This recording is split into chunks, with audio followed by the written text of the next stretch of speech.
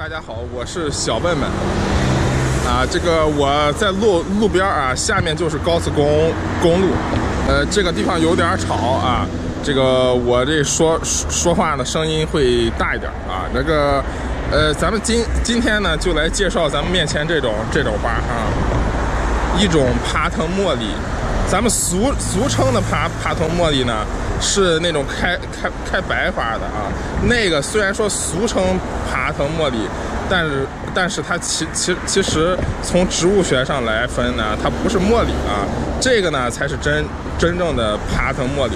这个爬藤茉莉呢是中国引进的植物啊，这是可以可以可以说是中国本土植物啊。然后呢，呃。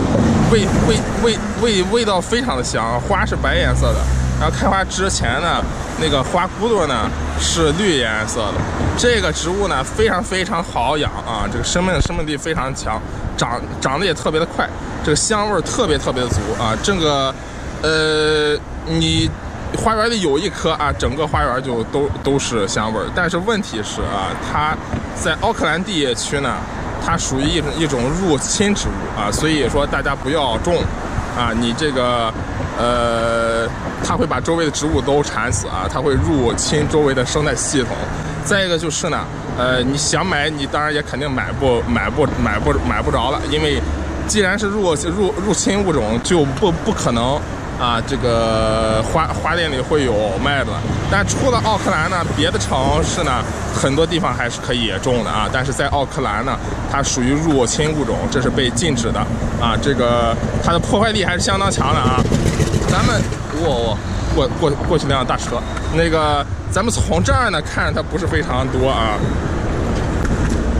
当然也不少了。来来看一下对面山坡。在前面那棵树上啊，缠的缠的都是了。这边这个转过去，这个整个一一一堵墙上也都是，下面也是啊。所以所以说呢，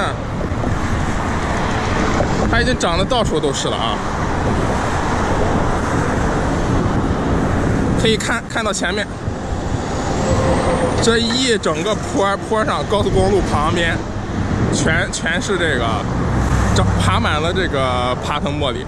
你看，它已经缠到这棵树上了，啊，这棵树渐渐会被缠死，啊，所以所以说呢，呃，咱们眼前的这个画画画面呢，很很就是个非常典型的个例子啊，它的它的这个它的这个入侵性啊，呃，大家可以看的看的看得到啊，这这这个开花的呢，只是它开了花的这一部分，啊，其实它。